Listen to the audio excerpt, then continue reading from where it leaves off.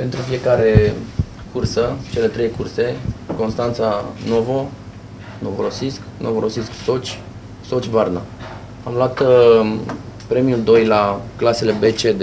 Pe general am luat locul 2, dar pentru clasa noastră am luat locul 1. Adornate a fost una dintre cele mai apreciate veliere din această competiție în toate cele trei porturi prin care a trecut Novorosisc, Soci și Varna. Experiența pentru mine Vă dați seama că venind de la comercială, pentru mine velele erau numai din cărți și filme.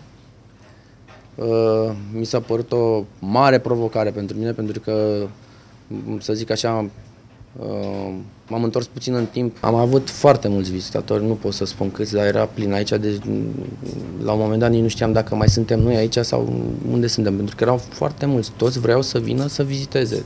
Pentru membrii echipajului, competiția nu a fost deloc una ușoară. Testul mării s-a dovedit a fi unul dificil. Au avut de înfruntat o mare agitată, valuri uriașe și curenți puternici. Am avut și eu o experiență mai așa, pentru că uh, am încercat să-i ajut pe băieți să strângă niște focurile, pentru că erau... Uh, le strânsesem, dar le-a bătut vântul și fluturau pur și simplu. Uh, în momentul ăla a venit un val care pur și simplu m-a măturat. Cât de mari erau valurile?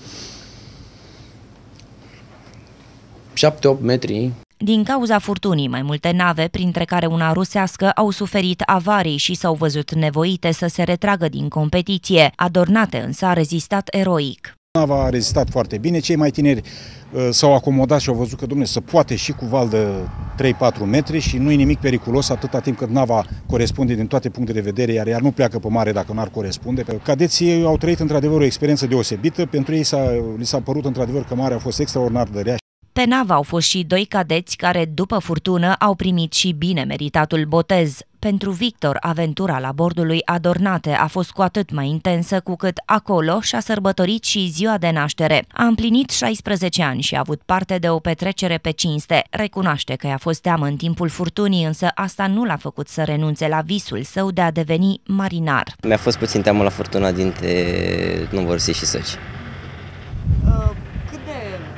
mare a fost furtuna aia? Ce ai simțit în momentele alea? Ai avut rău de mare? Uh, nu. Panicat? Uh, de panicat m-am panicat puțin, deoarece am văzut că au fost scoase vestele de salvare.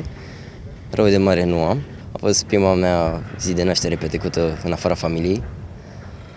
Uh, am primit foarte multe daruri. Uh, toate, tot echipajul de la Atila a venit special, la, am avut o petrecere cu o seară înainte și mi-a cântat la mulți ani.